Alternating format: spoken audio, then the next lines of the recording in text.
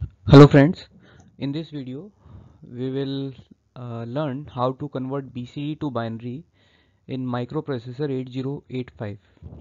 So uh, the procedure will be suppose we want to convert a number 72 which is a decimal number and decimal can be directly written into BCD uh, 0111 0010 is the BCD representation of 72 so we want to convert this BCD into binary number.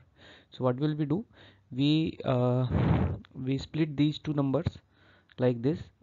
The upper BCD and lower BCD or MSB LSB so 70 plus 2 72 will be written like 70 plus 2 so 70 is 7 into 10 and 2 is 2 into 1 this is the positional weightage of these two numbers.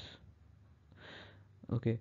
Now what we do we multiply this 7 the binary code of 7 by 10 okay? So uh, and then we'll add the binary uh, number 2 to the output to the product of this number and we will get the binary number the desired bin binary number which is the output so either we can uh, multiply this or we can add because in 8085 we have addition uh, application only. So what we do we add 7 10 times we'll get this. Then we add this 2 to this and finally we get the binary output. So simply what we are doing uh, we are considering BCD higher BCD BCD say BCD2 and BCD1 and then we are multiplying this 7 with 10 or we we are adding this 7 10 times then we'll add this 2 to that output product and finally we'll get the desired output. So the process will be uh, the BCD will be divided into BCD1 and BCD2 where BCD1 is this part and BCD2 is this part. Because the register size of 8085 is 8 bit so we'll write BCD1 and BCD2 both are both in 8 bit. Okay? Upper 4 bit in both are 0 then we multiply BCD2 by 10 and then we add BCD1 to the product okay.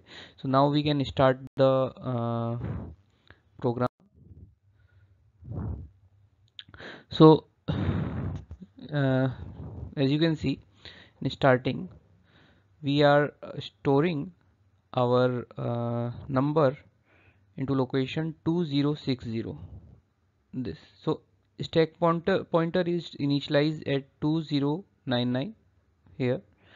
Then the number 72 is stored at 2060 and this 2060 location is uh, will store this location at HL pair 2060 we know that at somewhere here 2060 at this memory location our number 72 is stored. Okay? And uh, this uh, this must be 2070 okay? So the 2070 is the location where we want to store our output. So we are storing that value at BC pair okay? Now move AH will get the number 72 into accumulator okay then we call the uh, conversion routine bcd bin. Bcd bin is our conversion routine. Okay. After converting this routine we'll store the output in the address which is stored in b which is 2070 2070 and then we halt the program. So let us discuss the bcd bin conversion routine so we'll start with push operation.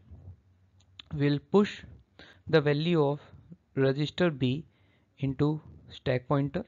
So push b will uh, what push will uh, b will do it store this 20 here in location 2090 and 70 at 2097 then push h it will store 20 at 96 2096 and 60 value at 2095 okay? So in future when we require these value we will pop it out. We are using push b and push h. Now uh, at the last of this subroutine uh, what we do we use pop h and pop b to get these values back. Okay? Now move ba accumulator value is now stored here. Accumulator value is stored into b. So we can change our accumulate value and b uh, the 72 value is stored or uh, um, is secured in register b. Now we'll do masking. Masking means we want to uh, get this value okay. We want to get this value uh, bcd1 or and bcd2 so we'll do masking. So we'll ma do masking by using AND operation ani 0f h. So what will happen here? 0f is this 0f and this is our number 72 7 2 so when AND operation is performed between these two numbers the output is this. Because we know that any anything is multiplied by 1 uh, sorry AND operation with 1 will get that number only and anything AND operation with 0 will give us 0 so we'll get 0 to here. So AND operation masking. Okay. Then after that the uh, masking result this result will be stored in accumulator 0 to this 2 will store in register C using move AC so the value of accumulator will be stored in C. So we get our uh, BCD1 number here 02 now again we want uh, the value 72 in accumulator. So we'll use command move AB so uh, register B value 72 is, was stored in uh, B register. We'll get it back in accumulator like this. Okay? And uh, obviously we have uh, BCD1 value stored in register C. Now we do masking of uh, LSB and we'll get BCD2 value.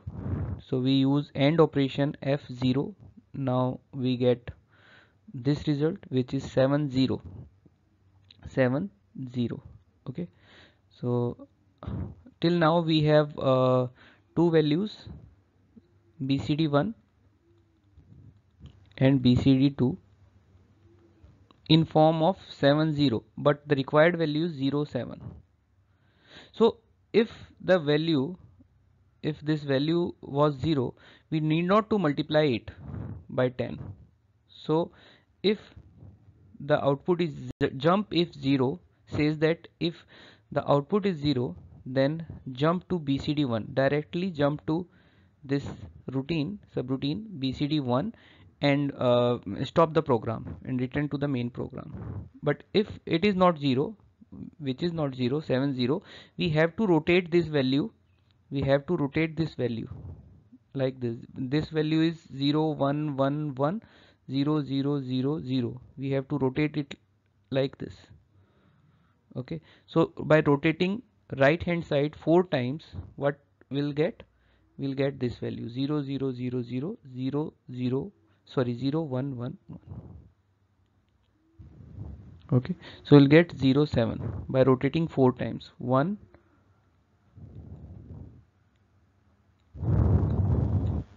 1 2 3 4 so here up to this value we'll get 0 7 as you can see here. Okay so now we'll move this value into register D. So we'll uh, use the command move DA so BCD2 is stored in D register and uh, BCD1 is stored in C register. Now we'll clear the accumulator using XRA A command this will clear the accumulator. And then we move 0A which is 10 which is 10 into register E. Why? Because we want to add the number 10 times. We want to add the number 10 times. So we'll uh, run a subroutine of sum. We'll add E okay? Add E to accumulator. That means accumulator in accumulator we have 07 value. It will add 07 to it and decrease decrease the value okay? D which is 07 plus 07 so in this way this will add up to the value when it is not 0 to sum this value. So it will add up to 10 times okay? So this is multiplication and finally we'll get our value. And then new subroutine bcd1 it will uh, we'll get uh, 46 into accumulator. When we add 0 7 10 times in hexa we'll get 46 and in uh, c register we have 0 2 value. So add c will perform an addition between a and c 46 plus 2 46 plus 2 and we'll get 42 final final answer which is stored which is now stored in accumulator. So this is all about this program. As I have uh, uh, in starting we use push command. So now we'll pop out our h and b value and get return to the main program where we'll store the value. Okay? So this is all about our uh, bcd to binary conversion. Thank you